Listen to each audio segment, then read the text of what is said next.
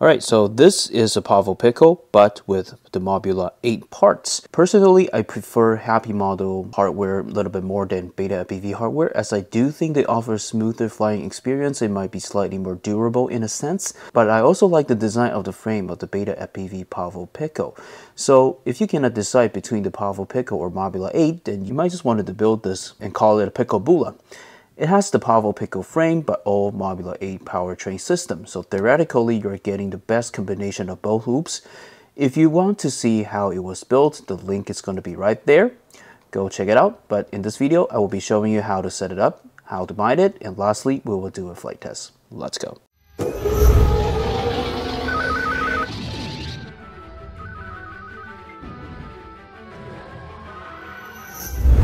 Alright, let's quickly go over the specs. The frame is a Pavo Pico frame, which I wanted from the Beta FPV Facebook giveaway, and this is the main reason that inspired this build.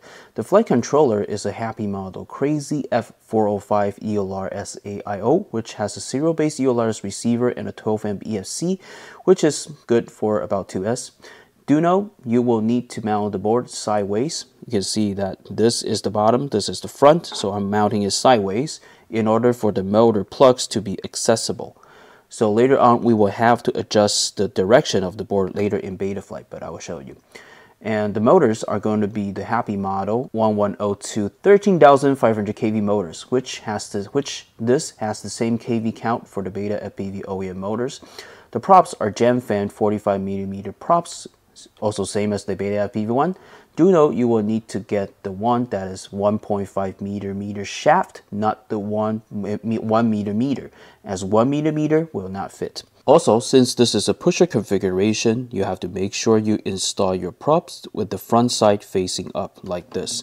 Lastly, we had a Caddx Vista Nebula mounted for the FPV system. This is compatible with DJI. By the way, this is a 2S setup and my average flight time with the 452S, it's about 3 to 4 minutes. Okay, so the dry weight without the LiPo is going to bring this quad to about 69 grams. And with the added 450 Tattu high volt LiPo on top of it, it's going to give the weight to about 96, 97 grams, which is, yeah, dropping up and down. Alright, so done with the specs. Next, let's go set everything up in Betaflight. Okay, at Betaflight, you're going to connect your quad and you're going to the configuration tab. And since I already set it up, I'm just going to ask you to set it, it up as the yaw degree to 90 and the clockwise to 0 right here. And then you're going to hit save and reboot and you're going to connect it again. Okay, so next, we have successfully changed the orientation of the board and it's right now correct. But the problem right now is our motors are still stuck in the original position. So we have to go to the motors tab and you let's just do a quick test so you know what's going on. So you can just pay attention to this little icon here. So technically number four should be this one and number one should be this one and number two should be this one. But let's just do a quick test to see what is the orientation right now. So I'm going to raise up number one. So theoretically this one should spin, but just see what happens. Okay, so you can see that number three is actually spinning. And if we go to use number three, it's going to go to number four. And if we touch number two, it is at number one. So everything is messed up. So normally, what I will be able to do is I can just use the record the reorder motor function and we should be able to set it up but you can see that for this particular quad I don't know why is it not working. But no problem. All you have to do is go to copy the text I'm going to provide you in the description.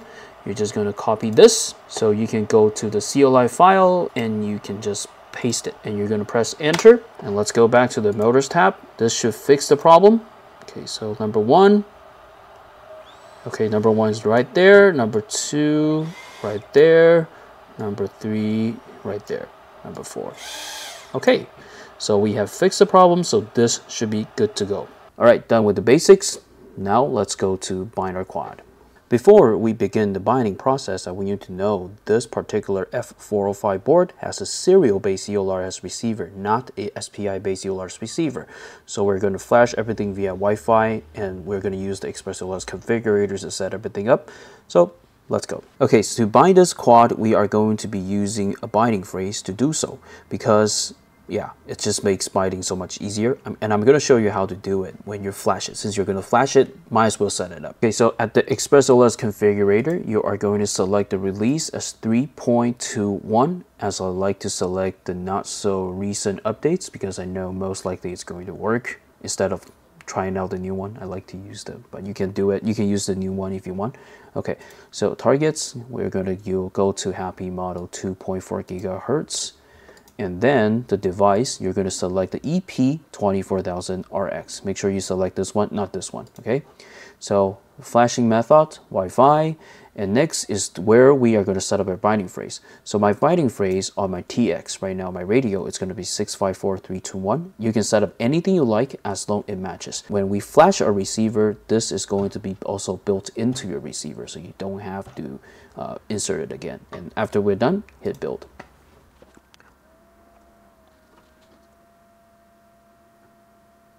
Okay, so once the firmware has been built, a separate window is going to pop out and you are going to select the Happy Model EP21 as this is the one you are going to use and it's going to save for somewhere you can find it easily. I'm just going to save it at download. Next, you are going to power up your quad by plugging in the USB cable again and this time we're going to force it into Wi-Fi mode. So we're going to connect the Wi-Fi of the ELRS and flash it via Wi-Fi. Once the light starts flashing very rapidly, you're going to go into your Wi-Fi. We are going to find ExpressLRS RX and you're going to hit connect. And if you ask any password, your password is going to be Express ExpressLRS all lowercase. Alright, so you can see that our firmware is currently at 3.01, but I we're going to flash it to 3.12 or something. Okay, what we're going to do is you are going to go to updates. You might yours might look a little bit different but the terminology is the same. Just go find where you can update stuff. You're going to, to basically find this icon and you're going to choose file. And we are going to go to downloads. And I'm going to select the file we just built. And you're just going to hit update Alright, update successful. So we are going to power up our quad using the USB cable again. This time we are going to go to Betaflight at the receiver tab to see if we actually make the connection. And I'm going to bring my radio TX12, TX16 actually. And we, as soon as I power it on, these things should automatically bind. Okay, we're going to connect to Betaflight and you're going to go to the receiver tab. And at the receiver tab, when you move your stick, you can see that they have been bounded together. So this is a perfect setup. So I don't know why this is saying Spektrum. It should be Crossfire. Let me see. This is so weird. All right, save and reboot.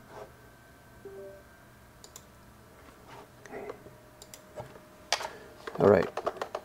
Okay. And the modes, let's see, arm switch, mode switch. Okay, everything's working. Next, we will be talking about the tuning I slap on this thing. This is my PID tune, and basically this is whatever it came as the Mobula 8. So from all Mobula quads, generally most of them are going to say it's going to cost like fly away, but in general it's fine. But do this at your own risk. You can pause by yourself to copy the numbers and the settings. Alright, so we have finished the setup for the Picobula and we can finally go fly. However, if you think that the setup is too much and you just don't want to do it and don't have the time to do it, you can email me and I will send you my preset so you can just load it directly in your Picobula. Alright, let's go fly this and I will share my thoughts about this and yeah, we'll go from there. Alright, so the image is coming from the DJI OS-D with the Vista Nebula Pro camera. The footage is obviously much better compared to analog video, but for me, this is still not enough to be used as good quality cinematic footage-ish purpose. So if you are thinking about building one of this, I would still suggest go with the DJI O3 unit. Anything below O3 kind of defeats the purpose as you need to mount additional action camera to get better quality footage and most likely the Thumb Pro or the 360 might be the only choice due to the weight. As for the flying characteristic, I would say this is a very good cinematic cruiser for indoor and outdoors when there is no wind.